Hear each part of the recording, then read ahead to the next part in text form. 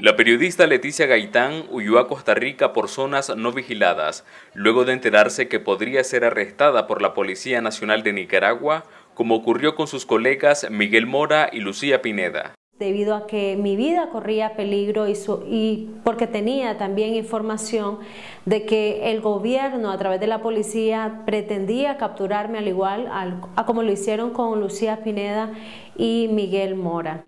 Una situación similar a la de Gaitán denuncia a su colega Yelsin Espinosa, periodista del noticiero televisivo Acción 10, quien también llegó a Costa Rica huyendo de las amenazas. Se me filtró que la Policía Nacional tenía ya en lista mi nombre para poder ser capturado en días ya finales del mes de diciembre del año 2018 en mi país. Por ello, me vi forzado a salir, salí por veredas, por puntos ciegos, Asociaciones gremiales denuncian que más de 60 periodistas nicaragüenses se han exiliado en el transcurso de los nueve meses de crisis sociopolítica.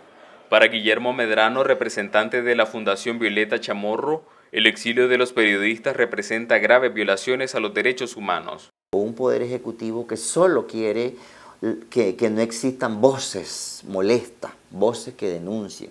Y es lo que ha venido haciendo el periodismo independiente, denunciando. Hasta la fecha, ningún funcionario del gobierno del presidente Daniel Ortega ha respondido a los señalamientos de los periodistas en el exilio, quienes los responsabilizan de violentar la libertad de prensa. Donaldo Hernández, Voz de América, Nicaragua.